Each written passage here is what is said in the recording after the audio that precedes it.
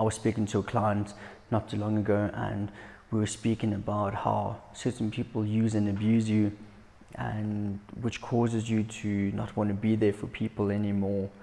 Essentially, she was trying to say that the minute you give to people, people who do not appreciate it, um, tend to cause you to feel as if giving is actually not worth it. It's not worth giving and being there for people because it's just taken for granted.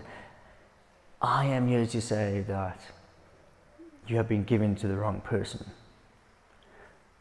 If you give to the right people, it should fuel you, it should build you, it should empower you to give more.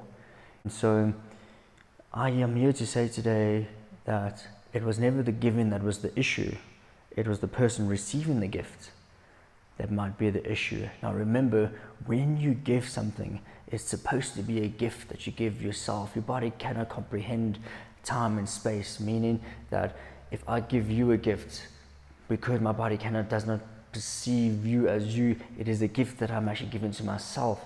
Um, my body experiences the gift as if it's been given to myself, and so that is the power of giving. But if you give to the wrong person, the person that doesn't reciprocate that, and um, the appreciation it'll take from you.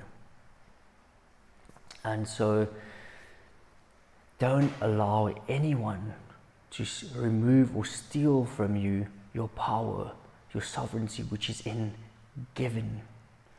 You see, when I say given, it is not, I'm not very big on giving of money because um, I don't believe that that I should change as much. I'm very much about giving your time, giving of your presence, giving of your personhood. I think that is more rewarding. I think, and that actually causes better change uh, or a better, or has a better impact on people. We think money really impacts people. Yes, in that short, short period of time, um, you will be appreciative if you are the one receiving the monetary gift. But if someone were to take the time out and give you their presence, man oh man, what a, a powerful thing. Now, it is important for you to understand how do you give? Do you give through physically helping people? So if someone needs help, uh, you you there to carry their bags, or you there if someone needs help to hang a frame on the wall, and you able to do that. Is that your way of giving, or is your way of giving through money? Now, I'm not saying that giving money is a bad thing. Um, for me, that's not the way I give. I give through my time and my presence and being present with you. I do know quite a few people who uh, actually find or have joy in giving money because that's who they are, that's the nature of who they are, that's the way they give. What I'm saying is find your way of giving. And when I say give, you see, all we're trying to achieve is a connection. There's a beautiful saying, and the saying goes that it takes a village to raise a child. I'm here to say that it takes a village to be a human being. We need connection. And the only way you can achieve that connection is through giving of yourself, is exposing yourself. It is saying, Here I am, and I'm here to offer myself. Because the minute you offer yourself, you are literally connecting yourself. You're connecting yourself on a deeper level with um, those people around you.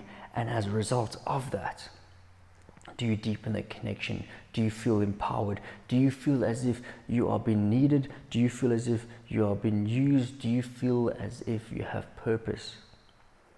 Now, the goal is not to find purpose, the goal is just to be and do the thing that you've always been designed to do, which is to give, is to connect with people.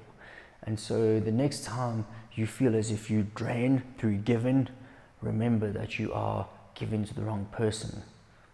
Give to the right people, deepen that connection, and you'll notice how there's a fire in your belly and you actually want to help more.